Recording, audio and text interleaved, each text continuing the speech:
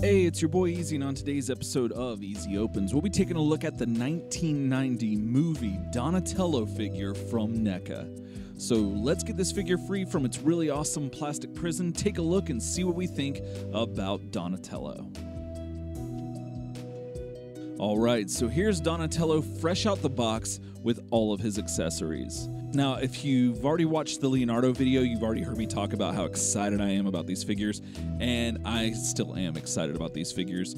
Like I said in the other video, I didn't think we'd be getting them in this scale, but here they are, and I can't wait to talk about it. So let's go ahead and get some stuff out of the way, some basic stuff out of the way, just in case you don't know who these turtles or who Donatello is.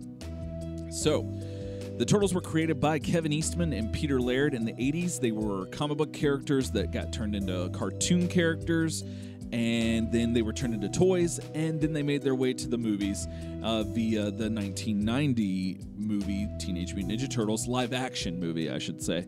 And uh, yeah, that's what these figures are based on, and that's what the box art is based off of too. Uh, the the actual VHS, which is insanely awesome that they did it that way. Donatello is basically the brains of the team. He's their tech support, if you will. He's also generally a skeptic when it comes to things like metaphysical elements and spiritual elements and things of that nature. Uh, he's very science based, and according to the uh, 1987 animated series cartoon, he does machines. So take that for what you will. And when he's not doing machines, his weapon of choice is a wooden bow staff. So thankfully, NECA decided to include that uh, as an accessory. So speaking of that, let's go ahead and talk about more of the accessories that this figure comes with. All right, so Donatello comes with one bow staff,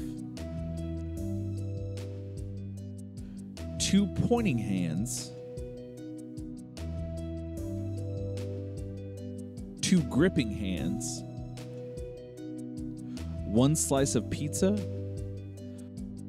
one windblown purple variant of his bandana, and one TCRI ooze canister.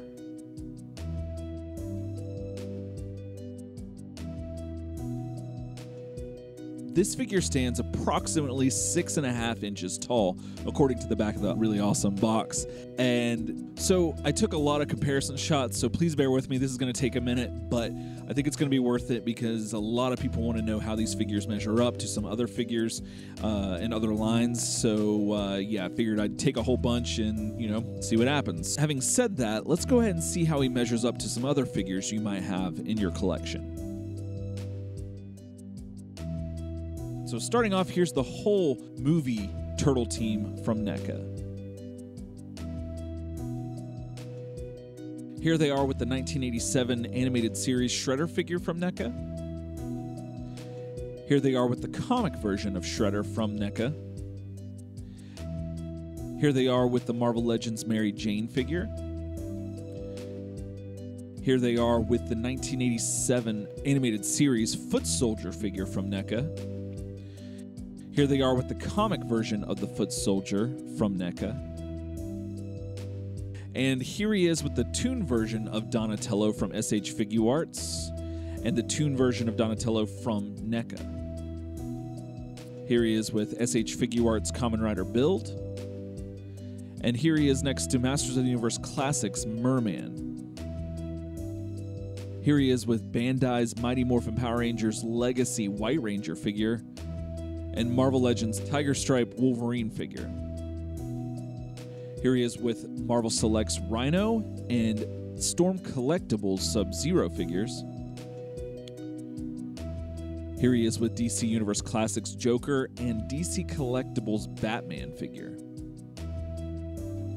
Here he is with the black and white comic version of Donatello from NECA and the colored bandana knockoff comic version of Donatello from NECA. Here he is with Bebop and Rocksteady from the Playmates Teenage Mutant Ninja Turtles Classics figures. And here they are with the Mousers from Playmates 2012 line of Teenage Mutant Ninja Turtles figures. Alright, so let's talk about the paint and sculpt on Donatello. So, just like the Leonardo figure, um, NECA did an amazing job, paint and sculpt wise, just on the whole. This figure looks like it walked off the screen and onto my shelf, and that is fantastic. Uh, much like Leonardo, the, the the like I said on the Leonardo review, that the uh, plastic that they use is very reminiscent of the Playmates plastic that they used. Not necessarily like it's one for one, but it evokes a lot of the same feeling that it's like this is a different plastic, so it feels like the turtles are a little bit more alive, if you will. And maybe that's just me sensationalizing everything, but that is replicated here in this Donatello figure. And uh, the sculpt is fantastic. It looks amazing. Now, granted, I believe that a lot of parts reuse are going on in, in these figures, and that's fine because you know they're brothers, so they're going to share genetic code anyway. So, uh, so you know, th- I, I, think that that's okay. And uh, but where where the figures differ are the spots on their their they're different i guess you could call them freckles if you will. So that lets us know that basically it's not just you know they made a whole bunch of left arms and then right arms and left legs and right legs and just put them on the different turtles and just gave them a different head. So they did a little bit of extra stuff with the with the paint to make these figures be a little bit more unique as opposed to being just all uniform with just a different head so you can see that also in the, the knee pads and the elbow pads where the paint differs from figure to figure. So that's cool. So it gives it it breaks it up a little bit and that's that's that's a nice touch so that it doesn't just look like, you know, a mass produced uh, line of just the same figure but with a different head. And so yeah, as I mentioned before, um, Playmates ma- made the the movie figures back in the day, and they looked different than the regular figures due to the plastic and the way it felt. And it felt more kind of rubbery, I guess. And you don't really have it's not rubber, but it does have a different texture on these figures, and it's awesome. And the way the paint that they used mixes with whatever plastic they used makes the figure feel more alive and also has like a slight shine to it to where it looks a little wet. Not not gross wet but like the light reflects off of it in a way that just makes it look alive and that is awesome. Like it's ridiculous. And so yeah they killed it with this figure. And again the face sculpt is where these figures excel because if you get the faces wrong, then the bodies can look cool, but the faces, if they don't look like the movie, then what do you have? You know, you just have like some sort of figure that kind of sort of resembles the movie figures. And thankfully, NECA are, are their fanboys and really loved this line and put their heart and soul into it. And so they nailed the Donatello face sculpt. Like, like I said in the Leonardo uh, review, there's times where I look at this figure and I'm like, oh, that's from that scene, or oh, that's from that scene. And I can't speak highly enough about the paint and sculpt on this figure. There's so much detail in the shading and the paint that just accentuates all of the uh, the detail in the sculpt, the veins in the arms and the musculature. Just everything about this figure is done with like artistic perfection and i'm gonna stop fanboying right now and we're gonna talk about the articulation that you're gonna get out of this donatello figure All right, so let's take a look at the articulation you're going to get out of this Donatello action figure. So let's start with the head. So the head is on a ball joint, so you'll get 360 rotation out of the neck, and uh, he can look up this far. Let's see if I can get that to look right. He can look up that far. He can look down a good distance. His head can go side to side really well, and uh, his bandana is uh, just pegged in there, so you can just remove it if you need to, and you can flip it side to side if need be. Uh, his arm his arms will go out this far and they have 360 rotation at the shoulder as well as um, 360 rotation at both sides of the elbow so the elbow is double jointed and uh, you, have got uh, swivels on both sides of the elbow he also has um, uh, removable hands, so they've got 360 rotation since they just pegged in there.